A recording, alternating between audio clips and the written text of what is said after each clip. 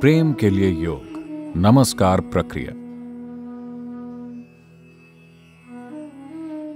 योग शब्द का मतलब है मेल। सभी भिन्नताओं का मेल। पौरुष और स्त्रैण।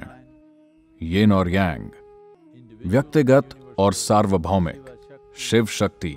दाहिने और बाएँ दिमाग का मेल। इस पवित्र मेल को प्राप्त करने का सबसे सरल उपाय है। नमस्कार योग। दोनों हथेलियों को अपने दिल के सामने एक दूसरे के साथ जोड़ने से आपके भीतर की भिन्नताओं में एक तरह का संतुलन आता है। फिर आप जिसे भी नमस्कार करते हैं उसके साथ जुड़ने की एक भावना उत्पन्न होती है। अपनी हथेलियों को साथ लाने से आपकी पसंद और नापसंद आपकी लालसाओं और विरक्तियों की आपस में विरोधी भावनाएँ संतुलित हो जाती हैं, और आप जो हैं, उसके अनुभव में एक तरह का मेल आ जाता है।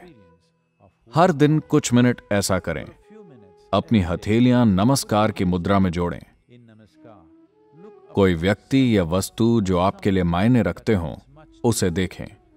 वह सूर्य हो सकता है, चंद्रमा, बादल, खाली आसमान, पेड़, चट्टान, आपके पति आपकी पत्नी आपका बच्चा, आपके माता पिता या कोई तस्वीर हो सकती है। उस व्यक्ति या चीज़ की ओर अपनी गहनतम भावनाओं के साथ देखें। प्रेम पूर्वक पूरी तरह ध्यान देते हुए, तीन से पाँच मिनट तक नमस्कार की मुद्रा में रहें।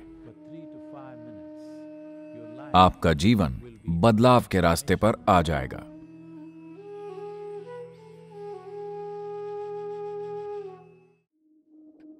जब इंसान अपनी प्रकृति के बारे में ज़्यादा जागरूक होने लगता है, वो समझ जाता है कि प्यार का अनुभव करने के लिए, खुशी का अनुभव करने के लिए, आनंद का अनुभव करने के लिए, यहाँ तक कि परमानंद का भी अनुभव करने के लिए आपको किसी दूसरे की ज़रूरत नहीं है।